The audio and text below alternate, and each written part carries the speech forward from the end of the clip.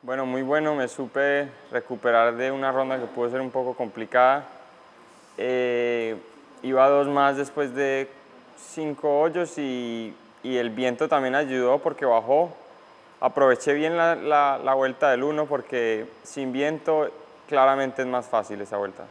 Mucho, la verdad, o sea, jugar sin viento a jugar con viento en un campo como estos es la diferencia entre día y noche porque te puede picar la bola de una manera muy diferente con viento. Eh, sí, sí jugó mucho más fácil, la verdad.